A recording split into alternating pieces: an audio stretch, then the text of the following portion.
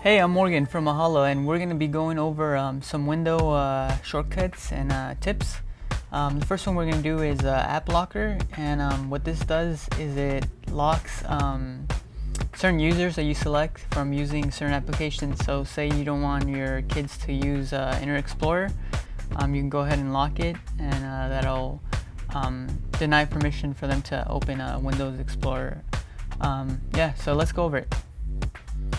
Alright, the first thing you have to do is go to the start menu and type in um, right here in this dialog box uh, gpedit.msc.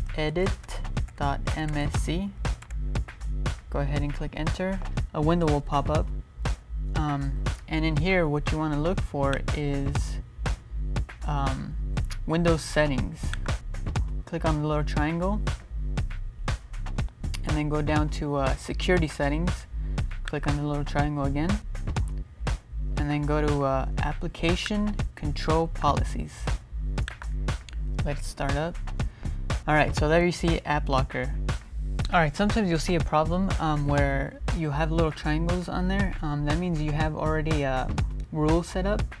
Um, but if you don't and it won't let you right click just click on the little triangles. They'll uh, go away. Once they're all gone you can right click create new rule and you get this page. Um, go ahead and click next. And then here's where you're either allow or deny access. Um, and you can select what users you want. I only have um, my own user because it's not connected to the internet or anything, a network. Um, but here you have a list. You can type in um, different users you don't want um, to allow access to. So I'll just leave it blank and then uh, click next. Mine is set to everyone right now. You can have you have different choices when you uh, select what rule you want to add.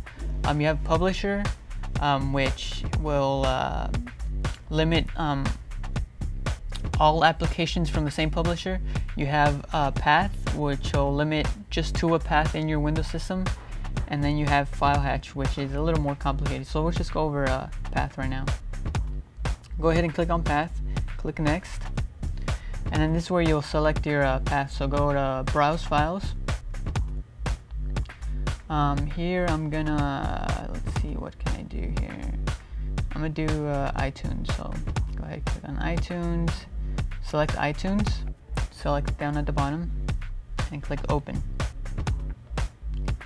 So there's my path. Now I click next. And here's where I select path I can add more exceptions like maybe um, you want to uh, allow people to use the internet but not install stuff. This is where you you can add exceptions. Um, so I'll just leave it blank because we're just gonna completely deny access to iTunes for everyone. And click next. Here I'll type in an easier name to remember. I'll type in uh, iTunes. Everyone denied Go ahead and click create. Um, to delete or remove a uh, an exception it's very easy actually. Um, go the same path I, I said before and you just look for the one you want to delete and you right click and quit delete. Or you go into properties and uh, set up change stuff but right now we're just going to delete the uh, the rule.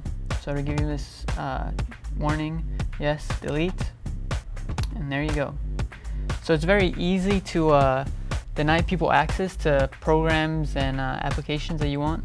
Um, it's good for like kids. If you don't want to have them use uh, certain games or whatever um, very easy way to do this. Um, if you want to check out more Windows 7 tips make sure to click on these links. And um, I'll see you there